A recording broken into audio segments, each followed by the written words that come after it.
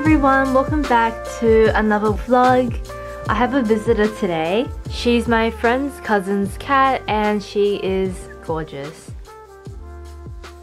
I've entertained myself with the cat who's been playing, I don't know, like jumping games from her bed to the windowsill. Um, but anyways, I'm going to get ready and just do a very simple makeup. I thought in today's video I would share with you some festive looks. I know it's going to be a very kind of casual, laid back Christmas for most of us. And I'm actually spending Christmas kind of traveling. I'll literally be checking into a hotel that day, I believe. Um, so I'm not planning anything crazy, but I thought I would still share with you some of my festive looks. And they're all going to be just very subtle, laid back, casual kind of outfits.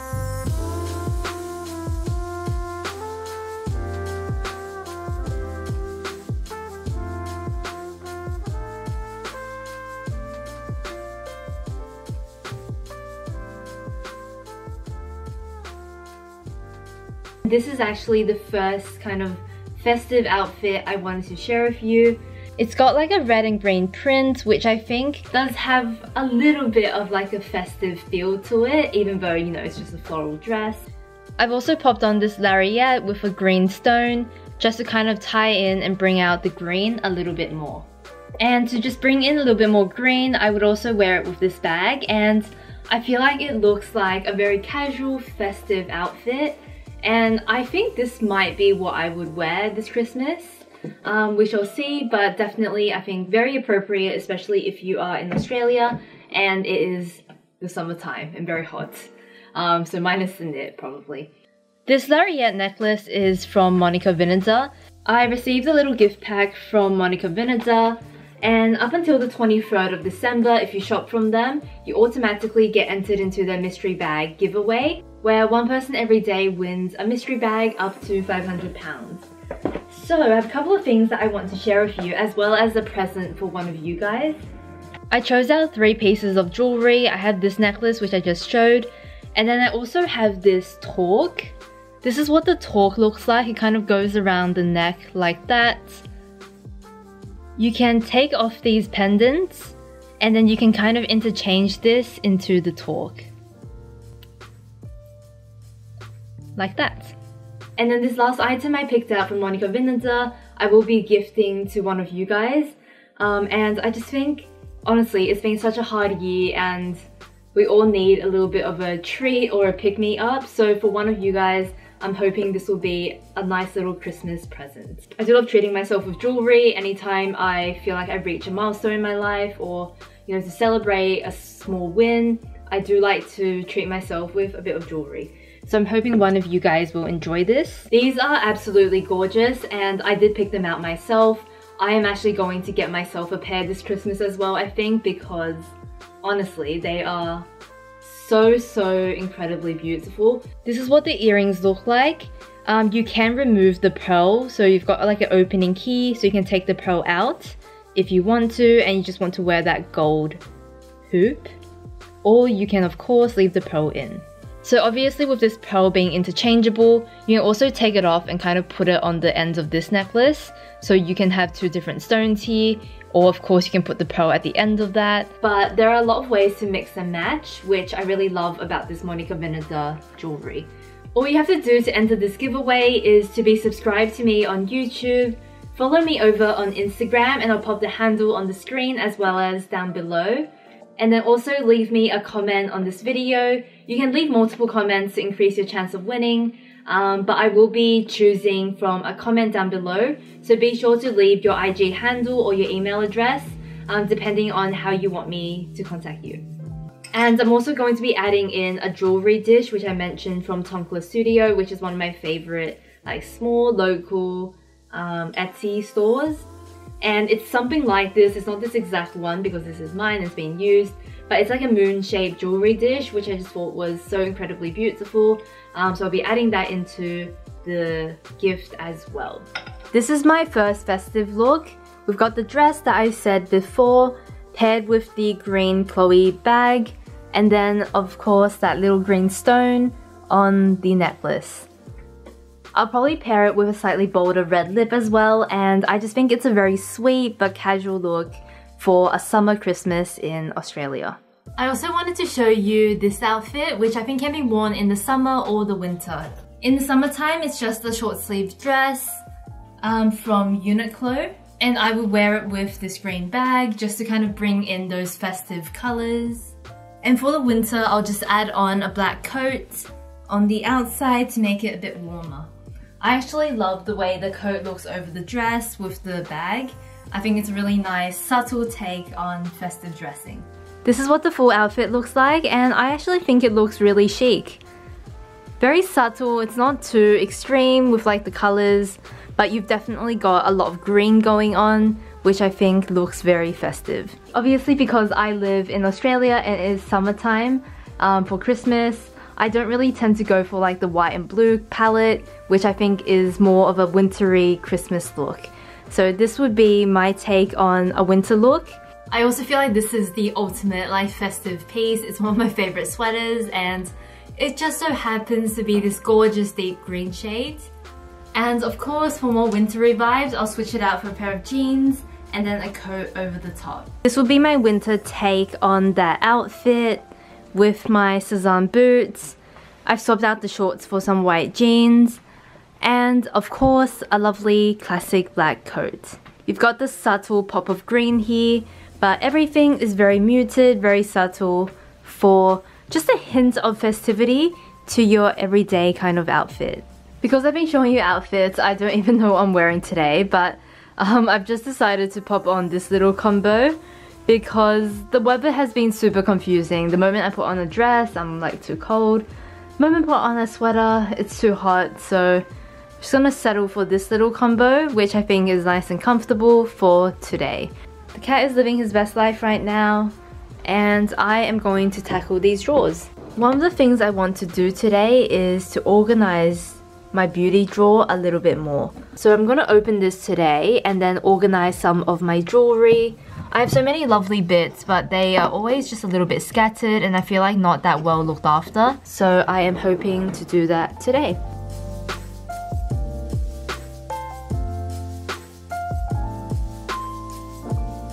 I've kind of finished organizing my jewelry here and I want to show you these two rings again which are also from Monica Vinader. I purchased these during a sale earlier in the year and I think I got these for 50% off and they are so so pretty. I wear them often together just kind of as a stacking set and they just look like that. They're also just as pretty alone. I often wear the red one alone whereas the blue one I do usually stack. So this is how the drawers are looking right now and it doesn't look like it but there's actually so much storage. I have got most of my lipsticks over here and the ones that don't fit I've just popped into this container here. Here we have the majority of my makeup, so we've got a few eyeshadow palettes back here. We've got my powder highlighter, we've got another eyeshadow quad, a blush, all over here. And then just a bunch of eyeshadows that are loose, some highlighters, blush, bronzer, and you know, some milk makeup sticks, which are all kind of in this drawer, nice and compact. If, I'm not saying that it should, but if I wanted to grow my makeup collection, I've obviously still got all of this space. And it doesn't look like a lot, but honestly, like if you store your compacts like this, it will fit a ton. Also, I still have some space back here. Right now, I've popped this mask here, but um, it is nice to know that I have the options of making that into more storage for palettes and compacts as well. I'm definitely a person who will always have more skincare than I do makeup. In this tray here, I have a lot of my serums, um, especially the ones that are open. So I have this different gel for acne. I've got my eye cream. A few of these um, sample size products from Drunk Elephant. I've had the full size of all of these and I really like them. I don't have the full size right now, but these are nice for travel. I was given this UFO face oil and it is amazing. Once I'm done with it, I'll probably get the full size. I have this CEO Glow Oil from Sunday Riley and another amazing product. Sunday Riley is probably my favorite high-end brand along with Drunk Elephant. And then on a daily basis, I love the Ordinary serums. I feel like they're really good for the price. I always have a few of these on rotation, just depending on what my skin feels like it needs that day. Here we have a toning water. This one is from Muji. This is nice, but it's not my favorite and I'm just trying to use it up. I have this ultraviolet sunscreen, a couple of The Ordinary products again, and then a Drunk Elephant B-Hydra Serum Gel. The jewelry section is looking very, very neat and tidy. I've yet to fill the second drawer, but I will do that at one point also. I'm really happy with this storage system here. I feel like this table holds quite a lot. At the same time, it's not so much that I feel overwhelmed and I start packing it with all sorts of random things. I just realized I didn't show you what's in here. This is just some backup skincare, my eye cream, as well as some radiant facial radiance pads that I don't use every single day. I just got the best delivery from Sézane and I figured I would do a little unboxing with you guys. I didn't know this package would come today actually, so that worked out well.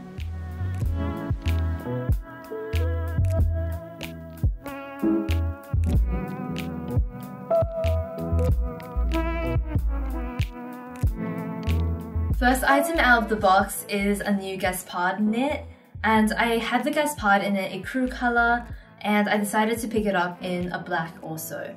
All of the Gaspard knits have the pearly white buttons which I just think is so pretty. Obviously on the black the white buttons stand out a little bit more and it's a bit more contrast which I personally really really like. This sweater is in an extra extra small which is a new size that they do and I felt like my original Gaspard was like a teeny bit big, so I am also super excited to try it in the size down, and already I can kind of tell that it's going to fit me a lot better. The next item is the Anton blouse, and the fabric of this feels really nice. It's a cotton linen blend, and it's got a nice thickness to it, so it doesn't feel too flimsy or too sheer. I like that there's so many details going on, so you've got some lace detailing, You've got some like little embroidery details and the most dramatic thing about it is definitely these huge sleeves.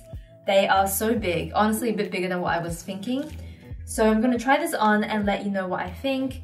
I also picked up two pairs of trousers and I feel like trousers are a bit of a game of chance for me when I order them online. Sézane now does free returns from Australia, which is why I've finally decided to pick these up and give them a try. So I decided to try the Clara trousers in this checkered print and I love this fabric. It's got like a brown, beige and black combination, which is so neutral, um, but it does have like a almost vintage feel to it. The fabric itself actually feels quite luxurious and soft, which I like. I've been wanting to add a few pieces into my wardrobe that are a little bit more fitted, less oversized, and I thought this would be a great pant. So we'll, we'll see how it fits. Um, it's always a little bit of a tricky task to order pants for me online. Last item I got is actually a pair of jeans from Sézane. And I have tried Sézane jeans before, which I then returned because um, I didn't really love the fit and like the style wasn't that inspiring for me either. I fell in love with the waist detailing on these. It's got two of these adjustable like almost like belt loops. Um, so you can kind of pull in the waist a little bit tighter if you need to. An issue I have with jeans is always that it fits on the hip but at the waist it's a bit too big and you get this awkward gap. So I feel like this will work really nicely. This is a darker blue jean material and I think it's quite a unique color in my collection. I don't think I have a denim option in this darker shade of blue. It's got a fold at the middle of the pant, which I always think looks a little bit more dressy, a little bit more elegant when worn. And it's also got some of the gathers around the front of the leg, um, if you can see that. The back seems pretty simple. It's got two faux pockets and it's it feels like it will be a higher waist fit. So I'm to try these on now and show you what it looks like. I'm really happy with how this fits. I do think the extra extra small is a much better size on me. Um, it's a little bit less roomy through the body and I also think the sleeves fit a bit better. It's still a teeny tiny bit long, but um, I am pretty happy with it. My favorite thing about the sweater, I feel like, are definitely the little buttons. I feel like they just add such an interesting look to a very simple sweater. And of course, being the Gaspard, it also feels really nice on the skin. This is definitely a keeper and one that I am really, really happy with. So this is what the Clara trousers are looking like and there's a lot of things that I like about this trouser, but they definitely don't fit right, so they will be going back. But I'm just going to show you in a bit more detail. I feel like the waist of it actually fits quite well and there's not too much creasing here, which is nice. Um, around the thigh it is okay. I would say it's a little bit tight and pulling slightly. But I think the main problem is the calf area. Um, I don't have the skinniest of legs and I definitely do feel like this trouser is way too tight for me on the leg, even though it fits on the waist really well.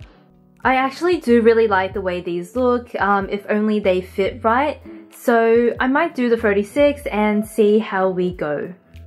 I feel like because I wear a lot of voluminous pieces on top, this will be a really nice bottom combo to pair with some of my more um, oversized blouses. Okay, so I've just popped on the Francky trousers and I'll show you what they look like without me rolling them up. If you can kind of see the waistband, I really like the fact that it's got these two tie details. It means that you can adjust the waist to be a little bit tighter or a little bit looser. And I really like that flexibility. It's got some of the pleats that I mentioned earlier, which is nice. And I actually really, really like the fit of these. Okay, here we go. This is what the outfit looks like and I'm kind of obsessed. I really like it. Um, especially the trousers. I do feel like they look a bit more flattering when I've rolled them up and with the legs rolled up, I just love the way they fit and the overall look of them. I do feel like it's quite flattering for a trouser with like a bit of a paper bag um, detailing. Sometimes these trousers can look pretty awful and I'm pretty happy with how flattering these are. I don't even mind the fact that I've had to roll them up. I actually quite like the way this looks, so I might not even get them tailored to be honest. I feel like this lighting is not the best, it kind of just looks dark, so let me put it somewhere else to show you.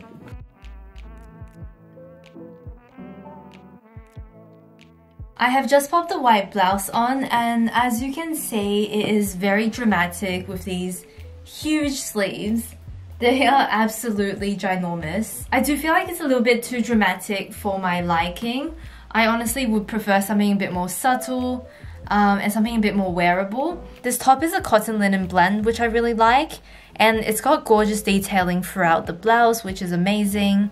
Um, the sleeves are beautiful, but it's not the most wearable style and I do feel like I'm going to return this one. If I untuck it, you can see the full length of it. It's not too long or short, which is great, and I do think it's a beautiful, well-made piece, um, just probably not for me. Wanted to very quickly let you know what I'm keeping and what I'm sending back. I love these jeans. I'm definitely going to keep the tags on and try them on for a few more days um, with different outfits, but I do feel like these are a keeper. I love the shape of them. I don't have this color in my wardrobe and yeah, they're, they're just amazing. They're such a surprise. I honestly didn't think they would fit um, when I took them out of the box, but they are lovely. This top is really gorgeous, especially the fabric. It's probably my favorite thing about it, both the composition of it as well as all the detailing. But I do feel like the style of it is a little bit too dramatic for me. So this one I think will get sent back. Like it's a beautiful piece and I feel like a lot of people look really nice in it. Um, it's just not 100% my style. The Gaspard in black is amazing and I am very very happy with it. And the Clara trousers I really like but th this size definitely doesn't fit me. I might try the 36 if it's still in stock. Otherwise, I might just pass on these. I'm hoping to get this vlog up tomorrow and tomorrow I have a pretty busy work day. So I am going to kind of take a look at the footage, see how it's going before making dinner.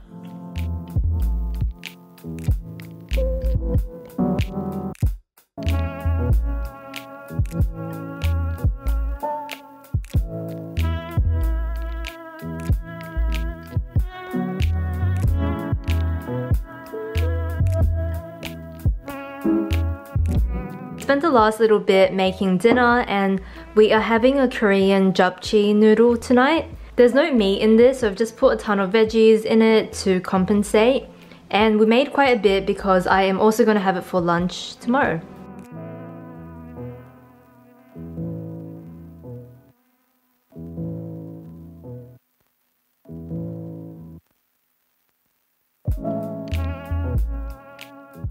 I'm going to finish off the vlog here and spend tonight catching up on some work. If you guys are interested in entering the giveaway to win the earrings as well as the trinket dish, um, leave me a comment in this vlog. If you're interested in any of the pieces I showed and you want to do a little bit of self-gifting this year, I'll have the pieces down below. Otherwise, I will see you in a separate summer and winter lookbook, which I am filming very, very soon. Thank you guys so much for watching and I will see you later.